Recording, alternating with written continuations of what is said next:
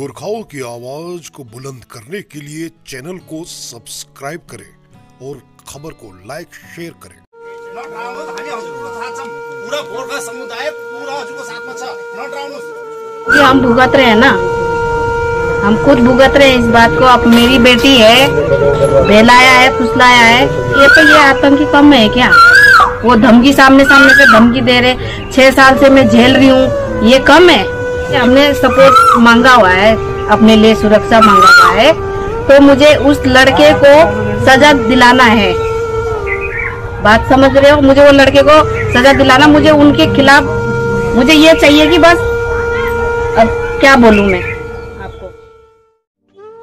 एक तरफ़ देश में लव जिहाद पर बनी फ़िल्म द केरल स्टोरी पर चर्चा जोरों पर है, वहीं दूसरी ओर फ़िल्म के फसाने से दूर इन दिनों देहरादून समेत उत्तराखंड में लव जिहाद का जहर बड़ी तेज रफ्तार के साथ फैलता हुआ नज़र आ रहा है।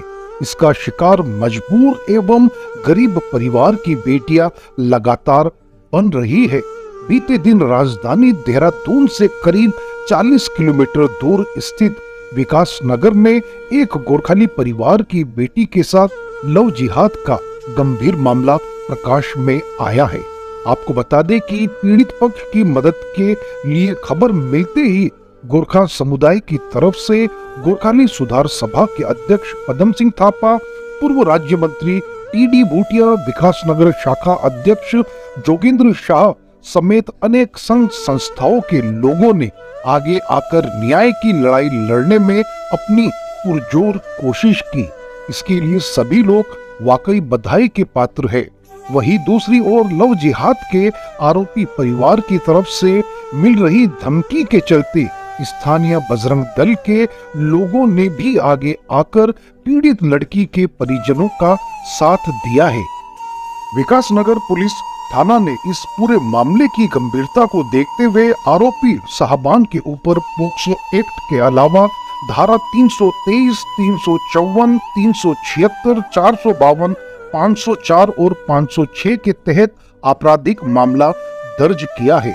एफआईआर में परिवार की तरफ़ से शिकायत की गई है कि साहबान ने बेला फुसलाकर उसकी बेटी के साथ दुष्कर्म किया है।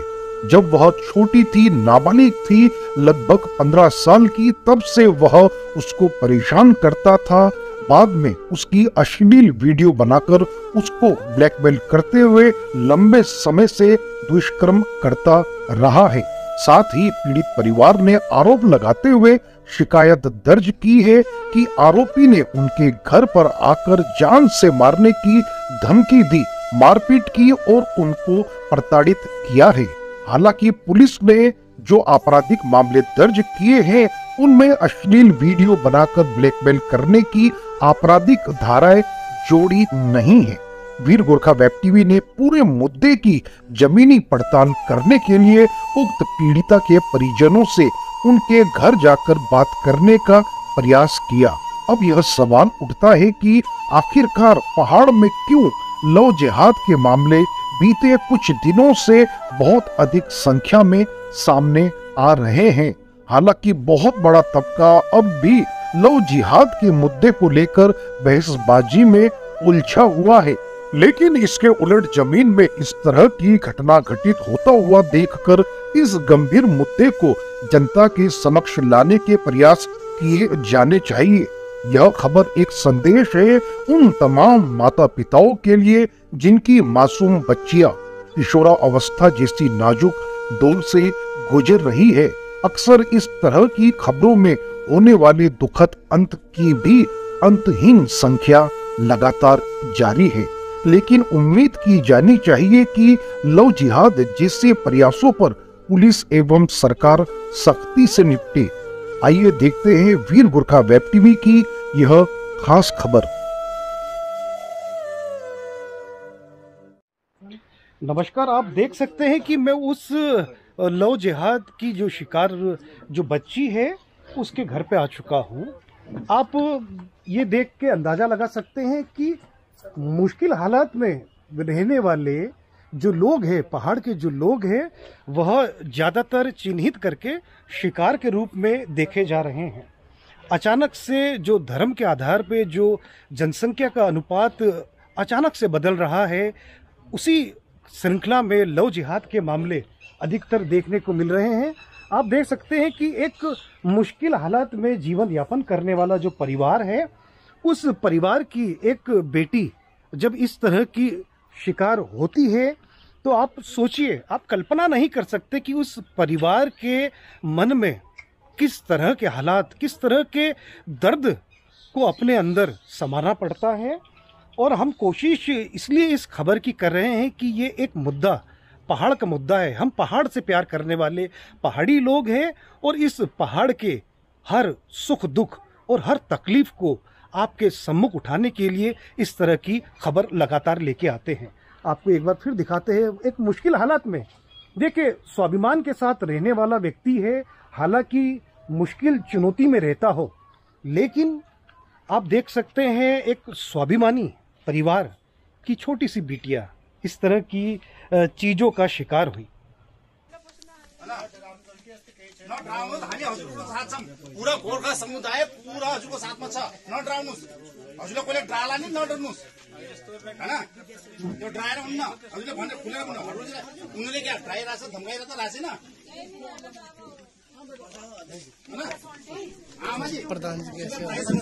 उनीहरूले? गोर्खाली समाजको हेड पनि हो। तो वहाँ एक स्कुल है सेकेन्ड स्कुल। भन्नुहोस् त। स्कुल अब परिवारले आधा किलोमिटर आधा किलोमिटर जहाँ पनि हुन्छ अब गोर्खा समाजको बाहेक एक ऐसा मुद्दा जो हमारे समाज के युवा खास करके जो युवतियाँ हैं उनको कहीं ना कहीं संदेश देने के लिए उस दिशा में काम करेगा। आज देहरादून से करीब 40 से 45 किलोमीटर दूर विकास नगर में एक ऐसी घटना पेश आई है जिससे हम सभी को चिंता करने की आवश्यकता है। अब अगर चिंता करेंगे युवा वर्ग की और युवतियों की तो उनके माता पिता का इसमें अहम रोल रहता है।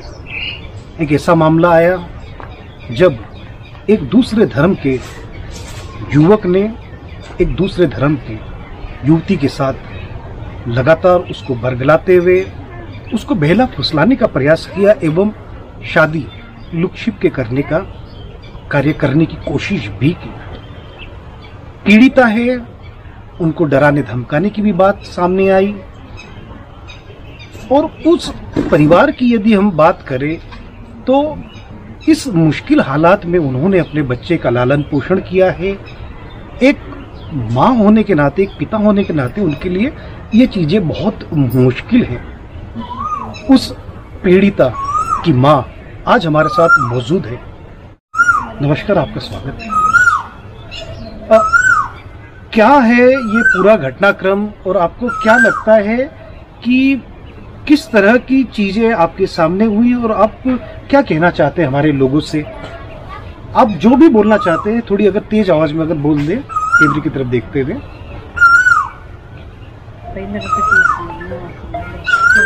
क्या हुआ पूरा मामला? क्या है ये मामला? इस बारे में थोड़ी जानकारी दें। होना क्या था? लड़की कल परसों चली गई थी मेरी। है ना? बाकी हमें तो पता भी नहीं था हमारे घर से तो निकल गई थी ये काम पे जाएँगे करके। अब मैं सोचा ड्यूटी पे चली गई होगी। ये चली गई थी कोर्ट मैरिज करने। अब उन्होंने बचाया वो बजरंग दल वालों ने वो लेके आए मेरी लड़की को। बस मैंने जाके उनके खिलाफ रिपोर्ट कर दिया। और और और ये जो ये चीज़ें था कई लोग इसको ये पूरे मामले को ये भी कह रहे हैं कि लव जिहाद जैसा एक मामला है ये। इस मुद्दे पे आपका क्या कहना है? क्या आप मानते हैं क्या ये लव जिहाद से जुड़ा हुआ मामला है? हाँ बिल्कुल है। तो किस तरह से इसके बारे में डिटेल से बताया ना कि आपको क्यों लगता है कि ये लव जिहाद का मामला है? क्योंकि हम भुगत रहे हैं ना। हम खुद भुगत रहे हैं इस बात को। अब मेरी बेटी है बहलाया है फुसलाया है। इतने सालों से समझा रही थी माने नहीं। इसलिए अपने मजबूर होके मैंने आज ये कदम उठाया अपना चौकी में रिपोर्ट करा मैंने उन लोगों के लिए। उनके दो बार गए मेरे घर पे त- आके उन्होंने धमकी दी मुझे। अब आप किस तरह की धमकी दी आपको? दी कह रहे अपनी लड़की संभालो तेरी लड़की ढंकी नहीं है तेरी लड़की ये है वो है। पता नहीं क्या अंट संट जो सुना भी नहीं जाता। अपनी लड़के के अपशब्द भी कहा उन्होंने। हाँ जी। तो एक माँ होने के नाते देखिए चूँकि आप काफ़ी मुश्किल अवस्था से निकले हो हाँ जब बच्चे को आप बड़ा करते हो खास करके एक बेटी है हाँ जब बेटी बड़ी होती है तो इस तरह के आसपास के मामले जब भेला फुसला के एक बच्ची को एक दूसरे धर्म की अगर हम बात करें लव जिहाद से जुड़ के अगर हम बात करें उससे जोड़ के तो आपको क्या लगता है कि इस तरह की घटना आ रही है? तो और जो इस कार्यक्रम को देख रहे और बच्चियों को या उनके माता पिता को किस तरह से सबक लेना चाहिए? क्या बोलूँ क्या समझाऊँ क्या बोलूँ कुछ भी जो आपको लगे उनके सामने अगर जो आपको देख रहे हैं उनको क्या नसीहत देना चाहेंगे? क्योंकि ऐसे मामले से आप दो चार हो चुके हो और आप पीड़ित हो। अगर ये लव जिहाद का अगर हम मामला मान लें तो बहुत गंभीर मामला है। और बीते दो दिन में तकरीबन तीन से चार मामले राजधानी देहरादून में आए हैं इस तरह के। मैं तो यही बोलूँगी जो मैंने किया है वो करे आगे उनके लिए बच्चों के लिए कोई ऑप्शन उठाए। मैं भी तो खड़ी हूँ ना। दे रही हूँ पचास सौ आदमी को जवाब दे रही हूँ लड़ रही हूँ अपनी लड़की के लिए ऐसे आप भी लड़े। आपको क्या लगता है कि और लोग भी आपके साथ जुटे आपकी मदद के लिए किस तरह की मदद की बात कर रहे हैं आप? मदद तो यही है बजरंग दल वालों का मुझे भरोसा है। उन्होंने मदद की आपकी। हाँ जी। उसके अलावा गोरखली समुदाय के लोग भी काफ़ी बड़ी संख्या में दिखे। हाँ जी वो भी आए मेरे लिए। अभी आप ही लोग हो हेल्प कर रहे हो। आपको क्या लगता है कि इस मुश्किल दौर में आप अकेली थी कि बाकी और लोगों ने भी आपकी मदद नहीं की? लग रहा मुझे सब है मेरे लिए हेल्प कर रहे हैं। ये ना सोचे कि हम अकेले हैं। सब दे रहे अपने नेपाली है चाहे कोई और भी हैं काफ़ी लोग हैं साथ दे रहे जो हमारे हिंदू सब हैं।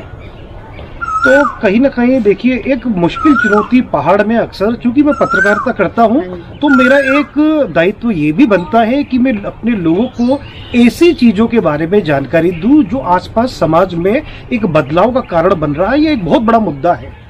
पहाड़ में जिस तरह से आपने कहा कि ये लव जिहाद से मिलता जुलता मामला है और लव जिहाद ही आप इसको मानते हैं।